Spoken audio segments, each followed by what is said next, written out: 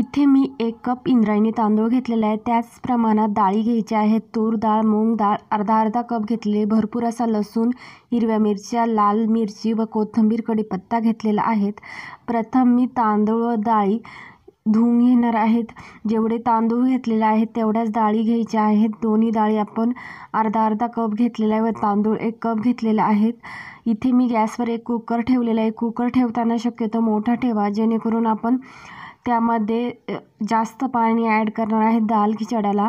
इथे मी दोन चमचे तेल ॲड करून घेतलेले आहे. तेल तापल्यानंतर आपल्याला यामध्ये पाव चमचा मोहरी ॲड करायची आहे. त्याचबरोबर पाव चमचा जिरे आता अर्धा पाव चमचा हिंग ॲड करायचं आहे. हिंगाशिवाय दाल खिचड्याला छान अशी टेस्ट येत नाही. खूप छान फ्लेवर येतो दाल खिचडीला दहा ते बारा कढीपत्त्याची पानं.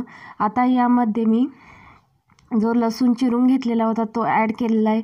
लसणाने खूप छान असं टेस्ट येते हिरवी मिरची व लाल मिरची ॲड करून घेतलेली आता मी एक मिनटासाठी ही फोडणी अशीच कमी गॅसवर परतून घेणार आहेत आता यामध्येच मी बाकीचे देखील मसाले ॲड करणार आहे. दाल खिचडा म्हटलं का जास्त मसाले येत नाही. त्यामुळे थोडे जे काही मसाले आहेत ते ॲड करणार आहेत.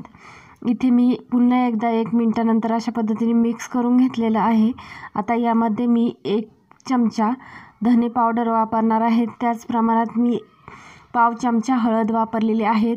एक चमचा लाल तिखट जे आपण रेग्युलर घरात यूज करतो ते वापरा. मिक्स करून घेणार आहेत. आता ह्या स्टेजला मी यामध्ये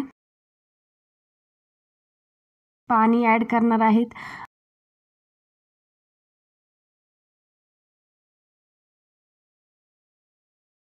म्हणजे जर आपण दोन कप डाळ व तांदूळ घेतलेले आहेत तर आपल्याला आठ कप पाणी यामध्ये ॲड करायचं आहेत. म्हणजे तिप्पट पाणी आपल्याला यामध्ये ॲड करायचं आहे.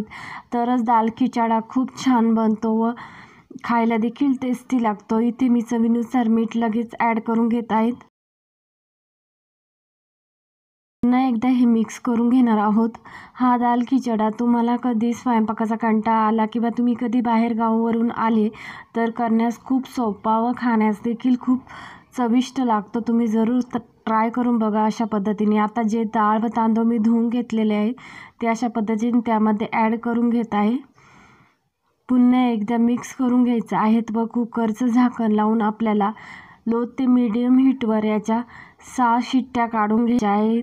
शिट्ट्या जरासं जास्तच काढायचं आहे जेणेकरून काय होतं छान असा दाल खिचडा तयार होतो.